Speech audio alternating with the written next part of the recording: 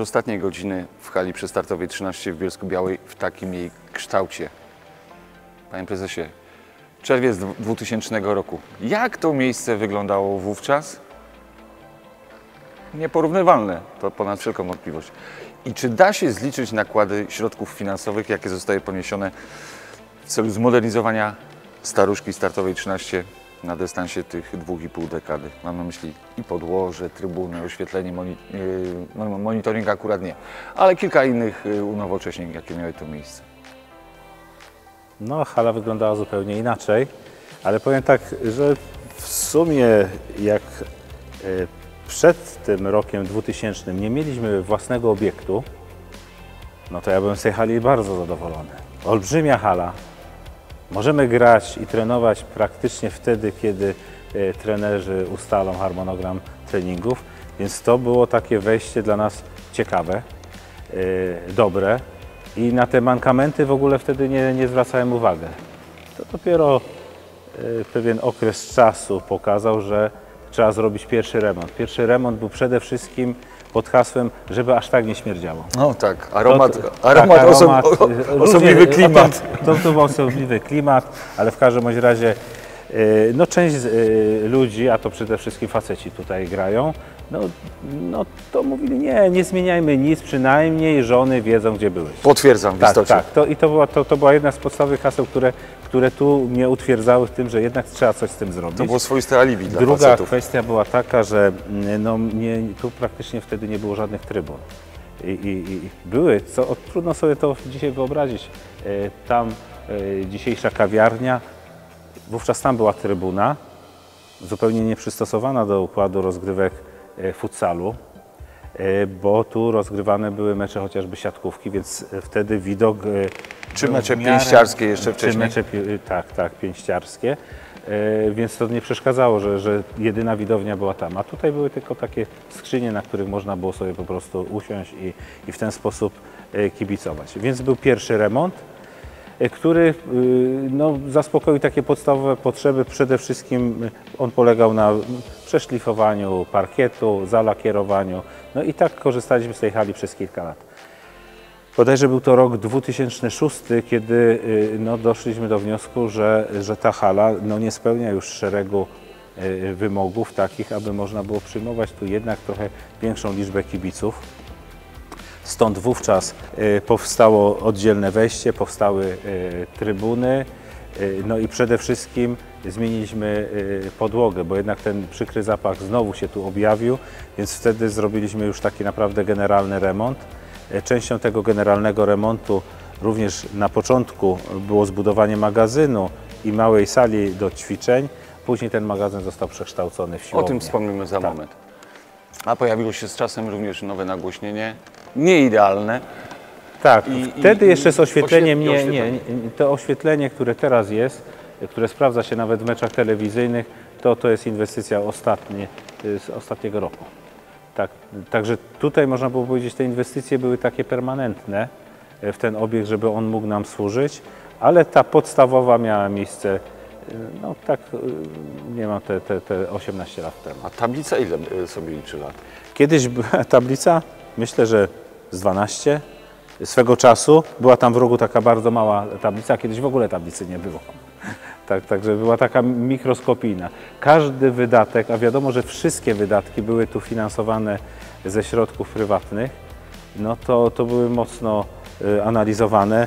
Y, Stąd y, na początku mi nie przeszkadzało, że ta tablica była takich rozmiarów naprawdę minimalnych i ta tablica do dnia dzisiejszego służy. Ona na boisku w tej chwili y, naszym treningowym, pełnowymiarowym y, Nadal funkcjonuje. dalej funkcjonuje, także nie zmarnowała się. Czy da się prezesie zliczyć, y, wrócę do początkowego wątku pytania, nakłady poniesione przez te dwadzieścia kilka lat użytkowania? To, do, jeżeli Tak, chodzi o samą halę, no kilka milionów, ale raczej yy, w granicach 3-4, tak bym to określił.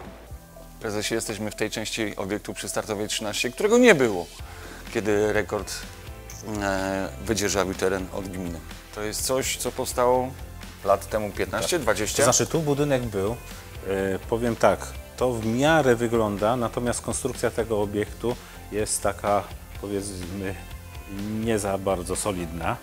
Także myślę, że w pracach rozbiórkowych, które są planowane w Z tym pójdzie czasie, najła- najłatwiej. Z tym pójdzie najłatwiej, naprawdę. Myślę, Pierwotnie że... to była przestrzeń magazynowa. Tak, w pierwszym układzie przestrzeń magazynowa, z tej strony był wjazd, także nie mieliśmy przestrzeni magazynowej, bo te namioty się później pojawiły tutaj w klubie, y, więc y, tu był taki, taki y, no, układ magazynowy. A dzisiaj jedna z częściej A- odwiedzanych przez rekordzistów części nomen omen obiektu. Tak, no to dla, dla, dla pracy, dla przygotowania, czy to piłkarzy, piłkarek, futsalowców, no to taka, takie podstawowe miejsce ich pracy. Tak samo I coś, co się doskonale sprawdza w przygotowaniu motorycznym i w trakcie rozgrywania turniejów. Tak, no tutaj te, te, tej sali rozgrzewkowej, gdybyśmy nie mieli, no to też byłaby duża e, strata. No widać już trochę sfatygowana, sporo potu tutaj wylano, yy, ale może nieduży, nieduża część, ale bardzo potrzebna. E, Także też przy nowym obiekcie nie wyobrażałem sobie, aby e, takiego miejsca dodatkowego nie było. Także często te nasze ekipy yy, sportowe no, korzystają jednocześnie z obu, z obu tych miejsc. A też z salki korzystają chociażby nasze nauczycielki ze szkoły. O proszę, tego nie wiedzieliśmy. A sprawa. Państwo akurat, którzy rzadko bywają przy Startowie 13, w tej części obiektu zapewne nie byli nigdy. Stąd między innymi nasza wizyta.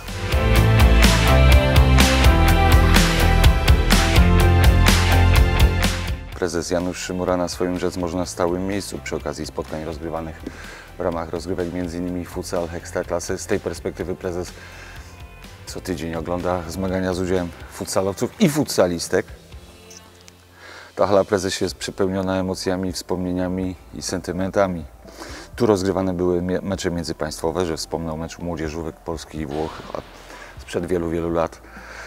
Finały młodzieżowych Mistrzostw Polski niejednokrotnie, czterokrotnie bodajże turniej Beskidy Futsal Cup, prestiżowa, renomowana impreza. Mecze pucharowe, oczywiście mam na myśli Puchar Krajowy, rozgrywki futsal ekstraklasy, a skoro o niej, o niej mówimy, tu przeżywaliśmy gorycz spadku, tu przeżywaliśmy radość awansu, no i tytuły mistrzowskie. Prezesie multum wspomnień. Tak, no multum emocji, faktycznie, tak jak tutaj to było powiedziane przed chwileczką. E, Też dostałem ostatnio takie pytanie, e, który mecz wzbudził najwięcej emocji. No, no było ich naprawdę sporo. Faktycznie wracam do tego e, meczu z Gattą, gdy zdobywaliśmy tytuł mistrza Polski, bo to, e, to, to była taka sytuacja, że w jednym meczu byliśmy w stanie wszystko stracić, a zyskaliśmy e, również. Takie emocje się faktycznie pamięta. Myślę, że y, y, no, wiele tych spotkań było. Tu było wspomnienie pierwsze. Ta hala ma faktycznie coś specyficznego dla całego naszego krajowego futsalu. Kilka pionierskich przedsięwzięć. Kilka pionierskich. Wspomnę, że pierwsze młodzieżowe Mistrzostwa Polski odbyły się w tej hali. W dwóch edycjach. Wtedy to była kategoria wiekowa U21. Powiem, że wówczas drużyna rekordu nie miała żadnych szans, żeby rywalizować z najlepszymi. To z góry wiedzieliśmy, że byliśmy takimi chłopcami do bicia. Każdy punkt nas tutaj cieszył, ale tych punktów wiele nie, nie zdobywaliśmy. Dopiero pierwszy sukces przyszedł na wyjeździe w Nowej Rudzie, brązowy medal. E, Także tu płaciliśmy frysowe, ale byliśmy dumni, że takie mecze mogły się tu e, rozgrywać. I również pierwszy w historii międzynarodowy mecz mm, e, rozgrywany z reprezentacją Włoch i pierwsza bramka tu dla Polski. Przypomnę, że zdobył ją Piotr Szymura. To też taka Z ciekawostka. tego przyznaję, nie pamiętałem. Tak, ale to taka, tak, także w ten sposób przeszedł do, e, do historii. E, z takich ciekawostek, e, w tej chwili e, organizatorem już od kilkunastu lat rozgrywek e, mistrzowskich e, w futsalu jest spółka Futsal Ekstraklasa. Ona powstała w tym obiekcie. I nadal ma tutaj swoją Tutaj siedzibę. ma siedzibę, no więc to też jest e, ciekawostka. Jeżeli ktoś się spyta e, e, o to, kto jest najbardziej utytułowaną drużyną, to generalnie w Polsce to, to myślę, że większość osób, które się interesuje tą dyscypliną wie, tak, to jest rekord Bielsko-Biała. Sześciokrotnie zdobyliśmy Mistrzostwo Polski, sześć superpucharów, pięciokrotnie Puchar Polski. Do tego trzeba e, dorzucić sukcesy naszych pań, które w obecnym sezonie Mistrzostwo Polski, Puchar Polski, w zeszłym sezonie Mistrzostwo Polski. Także rekord jest najbardziej utytułowanym zespołem. Mówię w kategoriach seniorskich, już nie mówiąc o młodzieżowej, bo tam jesteśmy prawdziwym hegemonem. Ale mało kto wie, że rekord to jest drużyna, która najczęściej spadała z ligi.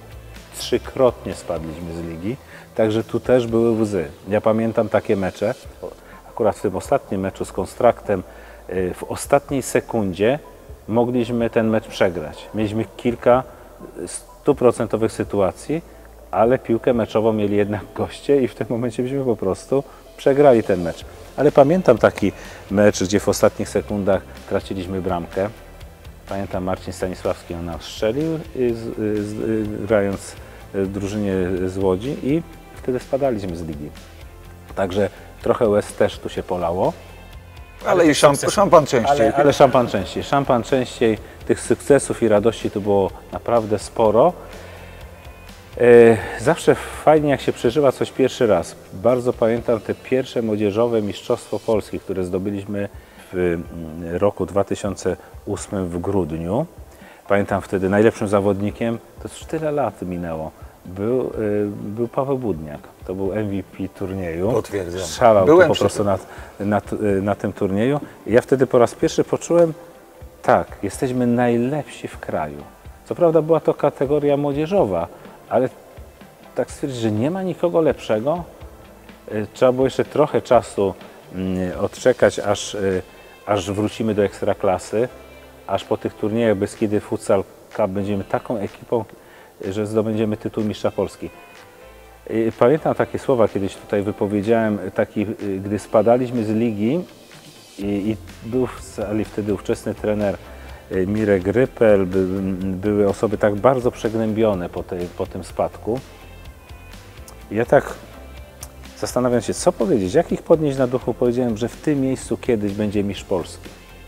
Ja tak powiedziałem w zasadzie, że Nie wierząc w te słowa. to znaczy tak stwierdziłem, że, y, że, że muszę wydobyć jakiś entuzjazm. Nie do końca, czy wierzyłem w to, no, no coś mi kazało powiedzieć te słowa. I wtedy nie przypuszczałem, że one będą aż tak prorocze. E, Także wracając do tego, ta, ta hala, jak chyba żadna w naszym kraju nie przeżyła e, tak wiele. Prezesie, wspominaliśmy o tym, co było w Staruszce przy Startowej 13, co jest. Pomówmy o tym, co będzie, jaka będzie ta nowa hala, ten nowy dom futsalowców rekordu. Mam na myśli samą nawierzchnię, boisko, trybuny i tak dalej, wszelkie te dane, parametry, którymi już możemy y, operować. Więc przede wszystkim y, samo pole gry będzie takie standardowe, takie jakie faktycznie powinno być, czyli 20 na 40 metrów. Obecnie mamy 38 y, y, metrów na 18,10, czyli takie no, faktycznie minimum. Y, Druga kwestia to również obrzeża tego placu gry, czyli za bramkami 3 metry, po bokach 2 metry e, więcej miejsc dla e, e, zawodników rezerwowych. Te parametry, o których teraz mówię, są niezbędne, aby można było tu rozgrywać mecze międzynarodowe. E, Kwestia e, kibiców. E, Miejsc siedzących, tak dokładnie będzie 472, tak, czyli gdzieś w granicach e, 500 miejsc siedzących, również z wydzielonymi miejscami dla osób niepełnosprawnych, ale dodatkowo taki bufer bezpieczeństwa, gdzieś około 250 miejsc dla osób e, stojących, czyli w sumie na taki istotny mecz może się okazać, że wejdzie tu aż 750 osób. A kwestia zaplecza szatniowego, sanitarnego i tym podobnych kwestii, spraw? Tak, ono też e, ulegnie e, zmianie, więc będą dwie dodatkowe szatnie. Tutaj e, obiecałem swego czasu tej naszej drużynie kobiecej, że tą szatnię wydzieloną będą miały nasze panie. Ale będą dwie szatnie dodatkowe. Miejsce, tak jak obecnie dla celów rozgrzewkowych na, na parterze, natomiast na piętrze będzie zarówno siłownia, jak również e, miejsce do, e, do ćwiczeń, taka dodatkowa salka czy sala gimnastyczna. Oczywiście większa liczba sanitariatów, miejsc na cele gastronomiczne, miejsce na sklepik tutaj firmowy, dodatkowa antresola, przeznaczona dla celów telewizyjnych. Dzisiaj te mecze telewizyjne są na granicy możliwości ich realizacji. Tutaj ten kadr, który będziemy w stanie uzyskać z meczy transmitowanych, czy to drogą internetową, czy telewizyjną, znacząco y, będzie to wyglądało lepiej. Czy na tym etapie już możemy mówić o takich rzeczach jak nagłośnienie, oświetlenie? No, będzie oddzielny projekt właśnie na, na oświetlenie.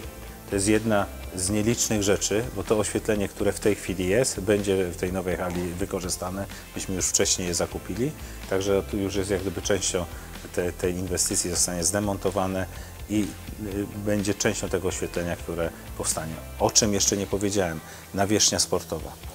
No, zakładamy, ta nawierzchnia, z której teraz korzystamy, nawierzchnia parkietowa jest... Mówią na- najlepsza w kraju.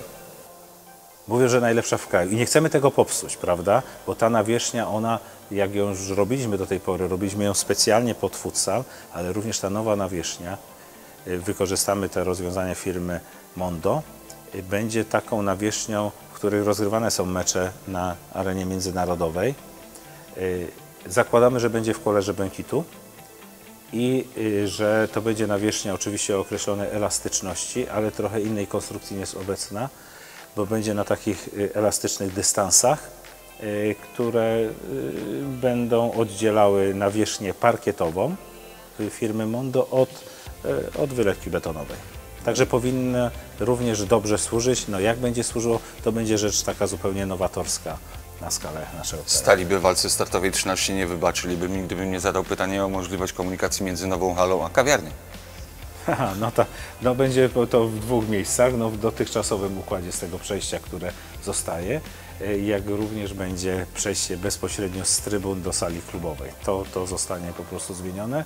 No myślę, że, że faktycznie tych stałych bywalców na pewno zadowoli to, że wszystko demontujemy, ale kawiarnia zostaje. A balkon w takim kształcie jaki jest, jaki znamy? E, No to, to y, z tej strony mniej więcej zostanie, no oczywiście zostanie unowocześnione, znikną te dotychczasowe metalowe bariery, powstanie tutaj y, tak, ta balustrada oszklona, taka, która będzie również vis-a-vis po, po, drugiej, po drugiej stronie. Także będzie można również wokół całej hali sobie spokojnie przejść. To też będzie taka dodatkowa, myślę, y, ciekawostka. Pomówmy teraz o trudnym temacie finansowania nowej inwestycji. Jakby to po, potocznie zabrzmiało, po młodzieżowemu gruba rzecz. No gruba, tak, tak, że bezwzględnie jest to taka inwestycja, już tu sporo e, środków e, e, zostało wydanych. Nie wspomnę o ostatniej inwestycji związanej z wybudowaniem trybun. Gdyby nie to dofinansowanie z Ministerstwa Sportu, o którym dowiedzieliśmy się naprawdę w sposób nagły i niespodziewany. Cokolwiek Oczywiście- enigmatyczny. tak. To, że pisze się określone wnioski o dofinansowanie, no pisze się oczywiście z dużą nadzieją, że się te środki dostanie, ale to jest przede wszystkim nadzieja, a nie pewność otrzymania tych środków. W związku z powyższym, gdy tak y, rzutem na taśmę przed zmianą ekipy e, rządzącej, przed wyborami, otrzymaliśmy e, środki, to była to dla nas, czy dla mnie osobiście, e, no, duża niespodzianka, ale też olbrzymie wyzwanie. Bo to jest na takiej zasadzie, że ministerstwo, jeżeli dofinansowuje e, tego typu obiekty, a to są e, dofinansowanie według takich specjalnych reguł konkursowych na obiekty specjalne. Myśmy, żeby dostać dofinansowanie do tego obiektu, e, to musieli mieć po- poparcie Polskiego Związku Piłki Nożnej. Otrzymaliśmy to poparcie, ale żeby to poparcie otrzymać, to musieliśmy się też czymś wykazać. Myśmy tu wielokrotnie gościli reprezentacje narodowe w futsalu, również reprezentacje e, piłkarskie.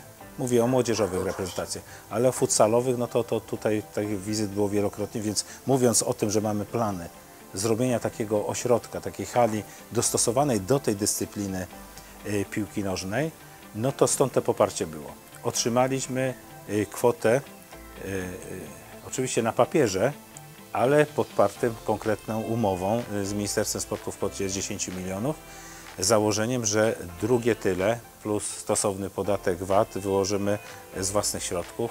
W związku z powyższym jest to określone wyzwanie i mam nadzieję, że temu podołamy i że dobrze rozliczymy się z tych środków, które otrzymaliśmy z budżetu państwa, bo to jest taka dodatkowa odpowiedzialność. To też wymusza na nas jakieś określone procedury, takie transparentne.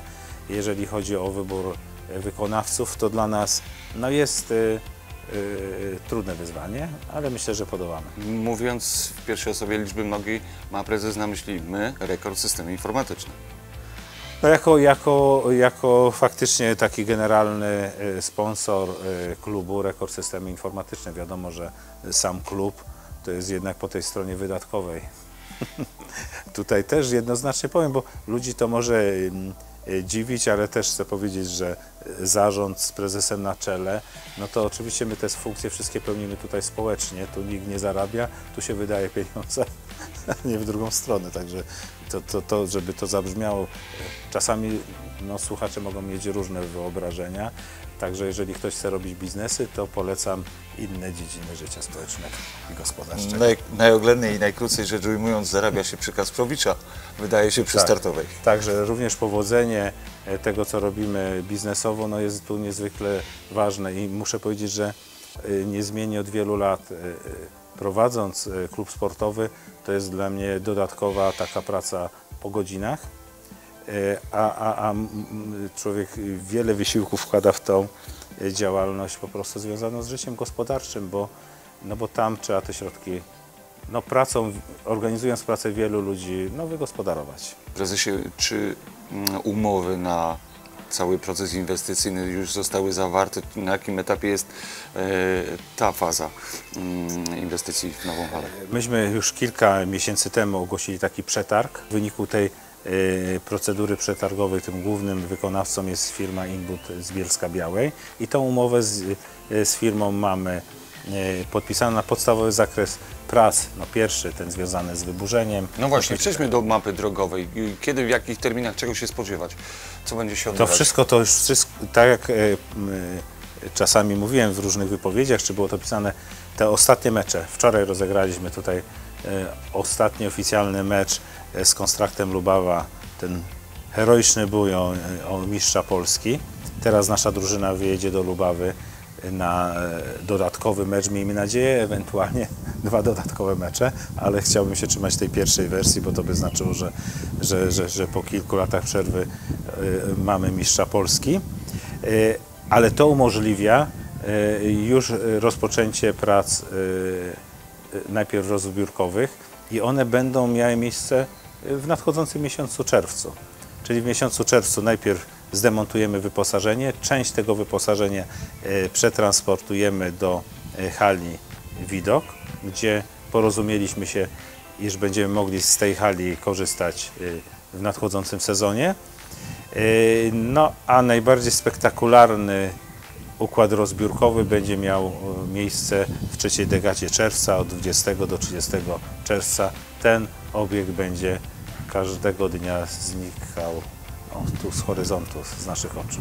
Rozumiem, że założeniem e, inwestora jest, aby pierwsze mecze w nowej hali odbyły się przed sezonem 2025-26. To realny termin? To jest realny termin wzniesienia tego y, obiektu i mam nadzieję również wszelkich odbiorów, które umożliwią rozgrywanie meczu, a również y, przyjmowania kibiców od y, tego sezonu, o którym tutaj była mowa, czyli to byłby wtedy sezon 25-26. 25-26, czyli tylko roczny, roczna bezdomność. Aczkolwiek mówiąc o tej bezdomności, jednej jeszcze rzeczy nie powiedziałem. Mianowicie e, e, ja mam, tu z tego obiektu na co dzień e, korzysta naprawdę bardzo wielu e, e, sportowców, szczególnie młodzieży, dzieci. E, To dla nas będzie bardzo trudny okres. No właśnie, ten- prezesie, gdzie przeniesie się e, futsalowe życie rekordu? Bo to przecież nie tylko seniorskie drużyny, ale cała armia młodzieży. w cztery miejsca. No pierwsze, że no, będziemy liczyć na dobrą pogodę, tak? Łagodną zimę. łagodną zimę i to jest jeden z takich wariantów. Ale oczywiście jesteśmy realistami i wiemy, że, że, że, że, że to nie wystarczy. W związku z powyższym będziemy wynajmować w różnych miejscach obiekty. To jest druga kwestia.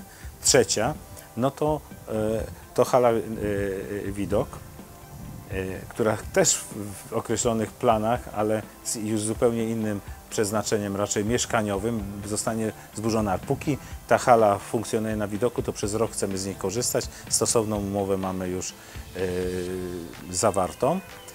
Natomiast czwarta rzecz, i to może być taka pozytywna niespodzianka. Tutaj na tym na tyłach obecnej hali sportowej chcemy wznieść,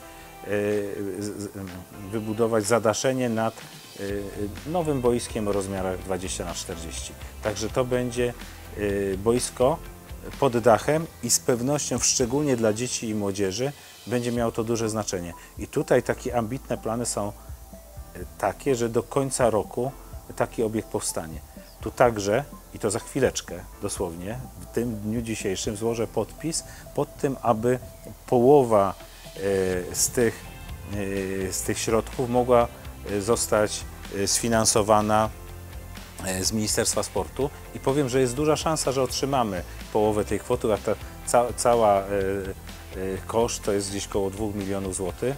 Do tego jeszcze e, wliczymy zakole, które w tej chwili e, powstaje tutaj. Te ostatnie prace na tym zakolu są e, boiska prowadzone, ale głównie chodzi o te boisko zadaszone, że tam e, możliwość złożenia wniosku jest związana z tym, że e, gdzieś półtorej miesiąca temu powstała taka zupełnie rzecz, o której się nie spodziewaliśmy. Mianowicie ze względu na to, że mamy drużynę w Ekstralidze Piłki Nożnej Kobiet, to Polski Związek Piłki Nożnej wspólnie z Ministerstwem e, Sportu e, dla klubów, które inwestują w infrastrukturę przeznaczoną dla celów szkoleniowych e, młodzieży, e, n- no, można otrzymać takie dodatkowe środki. Na to głęboko liczymy, bo, bo tych potencjalnych beneficjentów po prostu nie jest zbyt wiele, a wiem, że jest, jest określona kwota w budżecie zapisana. Jest naprawdę Gorąco wierzę, że tutaj y, taki obiekt dzięki również temu finansowaniu, y, a te, te finansowanie jeszcze raz y, przypomnę, to jest 50% wartości tej inwestycji, no to byłoby wspaniałą kwestią. Już puentując naszą kilkudziesięciominutową rozmowę, sparafrazuję słowa przeboju Go- Goles Orchestra. To dopiero będzie ściernisko, ale jakie będzie San Francisco? No oby te słowa były prorocze. Yeah.